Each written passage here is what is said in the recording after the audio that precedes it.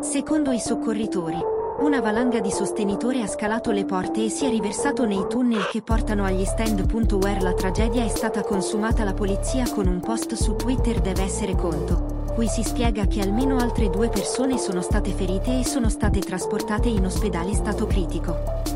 La tragedia durante la partita tra Arian Fas possiamo confermare 9 morti, 7 uomini e 2 donne ha detto Carlos Fuentes, portavoce del gruppo soccorso di pronto soccorso Commandos abbiamo assistito a più 500 persone, mentre oltre 100 sono stati trasportati te hospitals. La partita tra Altiana e Fas è stata sospesa 16 minuti dal calcio, quando i fan sugli spalti hanno iniziato a giocherellare freneticamente e portare i feriti in campo.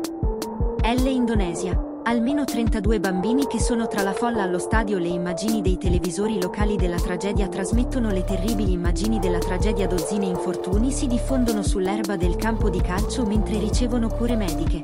Mentre i fan che sfuggono alla folla agitavano furiosamente le camicie nel tentativo fare in onda e RIVV e Toseo aveva perso i sensi.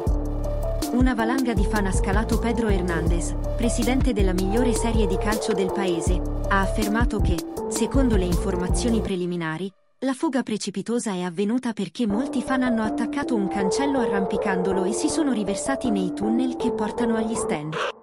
Era una valanga di fan, quello che si arrampicava sul cancello.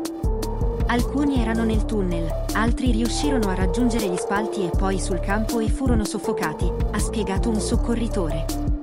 Congo, 11 tra la folla in un concerto a Kinshasa discorso sui biglietti il commissario nazionale di polizia civile Mauricio Arrizza Chicas, che si è precipitato sulla scena della tragedia, ha affermato che ci sarà un'indagine penale in collaborazione con l'ufficio generale del procuratore.